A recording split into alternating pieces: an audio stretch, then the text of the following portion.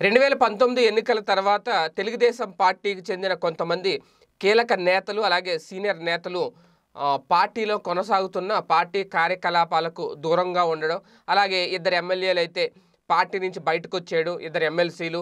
అంటే కొంచెం చంద్రబాబు గారికి దూరం అవుతున్న నేతల్లో సీనియర్ నేతలే ఎక్కువగా ఉన్నారని చెప్పొచ్చు. ఈ నేపథ్యంలోనే తాజాగా ఒక కాపు వర్గానికి చెందిన ఒక సీనియర్ నాయకుడు కూడా తెలుగుదేశం పార్టీ నుంచి వైసీపీలోకి రాబోతున్నారు అనే ఒక కీలక ప్రచారం అయితే జరుగుతుంది. ఇందుకే ఎవరు ఆ వ్యక్తి అంటే కాంగ్రెస్తో రాజకీయ జీవితాన్ని మొదలుపెట్టిన నాయకుడు కృష్ణా జిల్లాకు చెందిన నాయకుడు ఆయన కాపు నాయకుడు ప్రధానంగా.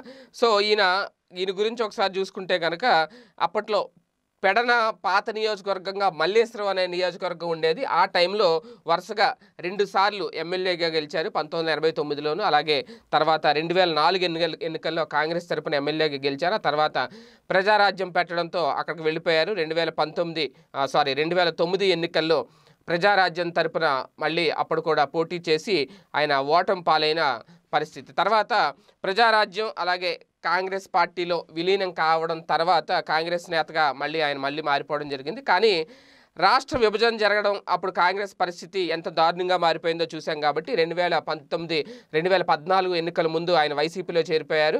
ఆ ఎన్నికల్లో వైసీపీ తరపున మళ్ళీ పెడన్ నుంచి పోటీ చేసి ఓటమి పాలైపోవడం ఓడిపోయిన నేతగా సవ్యంగా ఉండకుండా అప్పట్లో ఆయన మళ్ళీ తెలుగుదేశం పార్టీలోకి చేరడం. ఇంతకీ ఈయన ఎవరు అంటే కాపు సామాజిక వర్గానికి చెందిన బోరగడ్డ వేదవ్యాస్ ఈయన. అయితే ఇప్పుడు ఈయన పేరు ఎందుకు తెర మీదకి వచ్చింది అంటే ఇప్పుడు తాజాగా ఈయన మళ్ళీ రెండు వేల పద్నాలుగు ఎన్నికల తర్వాత రెండు వేల పంతొమ్మిది ఎన్నికల్లో తెలుగుదేశం పార్టీలో కొనసాగుతున్న టైం అది. కానీ ఆయనకి సీటు కూడా ఇవ్వలేని పరిస్థితి తెలుగుదేశం పార్టీ. ఈ నేపథ్యంలో ఆయన చాలా రోజులుగా అడ్రస్ లేకుండా పోయారు. ఈ నేపథ్యంలోనే ఇప్పుడు మళ్ళీ ఆయన వైసీపీలో చేరే ఆలోచనలో ఉన్నారు. త్వరలో వైసీపీలో చేరబోతున్నారు. ఇప్పటికే పార్టీకి చెందిన కొంతమంది కీలక నేతలతో ఆయన టచ్లో ఉన్నారు అనే ఒక ప్రచారం అయితే జరుగుతుంది.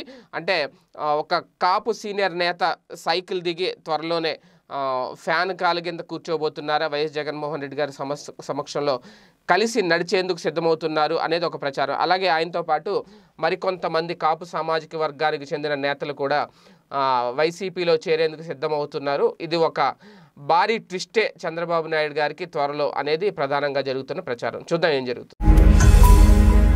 ఈ వీడియో గనుక మీకు నచ్చినట్లయితే లైక్ చేయండి షేర్ చేయండి. మరిన్ని వీడియోస్ కోసం మా ఛానల్ను సబ్స్క్రైబ్ చేయండి.